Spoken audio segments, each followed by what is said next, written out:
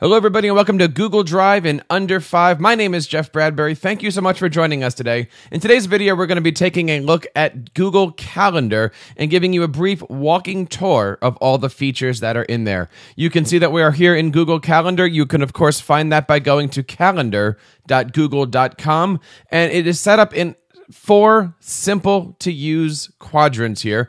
Over here on the left, we have our create button. We have our month calendar. And we have two sections here one for the calendars that we own or have editing access to.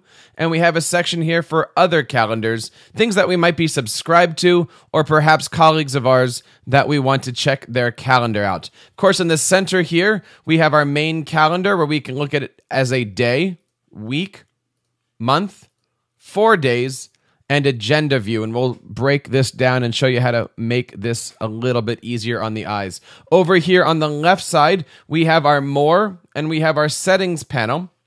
And this is where you can customize everything about our Google Calendar. And then finally, the last part here, we have our tasks list. And our tasks list is going to be able to be seen if we come over here to our My Calendar list and we toggle on and off tasks. So let's dive in here and learn how to create something. I'm going to go to week view, and there's several different ways of creating calendar events. The easiest is to simply drag out a range and that is going to bring you two different dialog options here. One we have events and one we have appointment slots. Now, if you're not looking at this on a Google Apps for Education, maybe Google Apps for Work, Small Business, you're actually only going to be seeing events and one more option over here, but it's not going to be appointment slot. So we have uh, events and we have appointments, and you can see that they are slightly different. So we're going to create an event and we're going to say breakfast with mom when it's automatically going to be placed for today at 9 to 10 as we have drug it out. And I'm going to hit create. And you can see here now we have our event. If I want to change this, I can simply click on this and it's going to open up our dialog box. So here we are when we want to edit our event. We can, of course, change this if we want to. We can, of course, add to it, delete it, whatever. We can select the time zone. It automatically pulls the time zone that we're in. But if mom is in another time zone, we can certainly do that. We can say that this is an all day event, and you can notice that the time has shifted a little bit.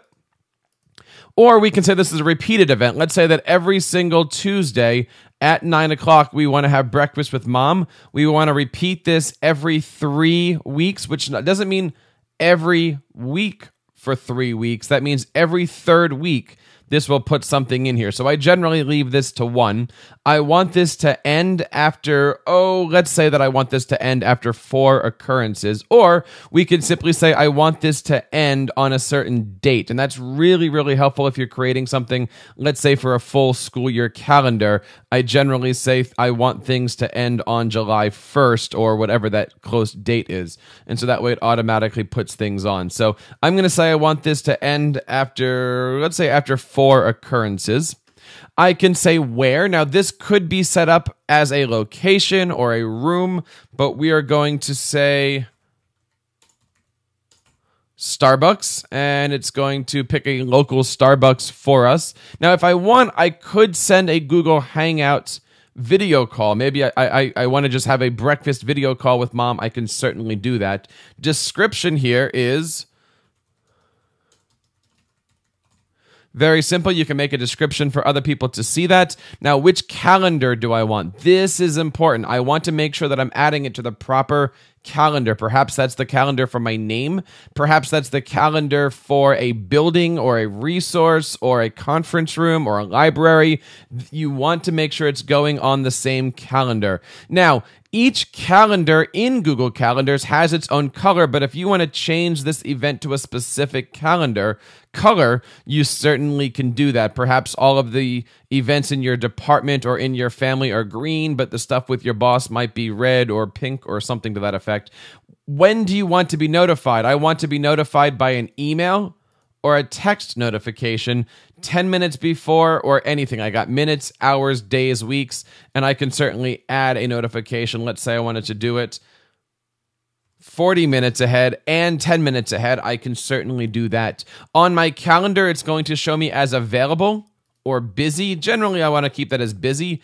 And under visibility, do I want to make this available to the public or do I want to keep this private? You'll notice when I say public, or private, that changes a few things down here with your settings.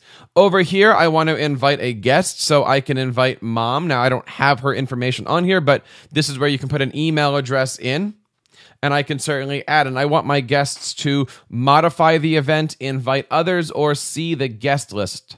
So I have everything here that I want to do to save. I can discard my changes or I can also delete. Now, this button here says more actions. I can change the owner of this event or I can duplicate this event. So let's see, I'm going to save this first, and you can see that it's on this calendar here. But if I wanted to, I can actually duplicate this event, save it, and now you can see it's on two different calendars. Now, I only have one major calendar here, but you can see this might be on the Jeff calendar, and this might be on, say, the conference room calendar or the Starbucks calendar in this case. Um, if I wanted to, I can move these things around independently. So maybe I want breakfast here and breakfast here. But you can see if I go into month view, I've got those three or four reoccurring events with breakfast with mom. So you can see how those re- reoccurring events happen. Let's say that I wanted to print this calendar out. I can simply come over here to more and hit print. And if I go to print, it's only going to print that week. I can, of course, change the print range. I can change the font size. I can change some of the styles here, and I can hit print. If I want to do it as a month calendar, I have to switch over to month calendar and then hit print. So now you can see I have my month calendar here. So that's really, really important. I know many times people print and then they want to do a, a different view. You need to come in here. So here's my agenda view and I hit print, and you can see all the events happening here from this particular print range. So that is a quick way of how to create an event in Google Calendar. And if I want, I can switch back over here to today.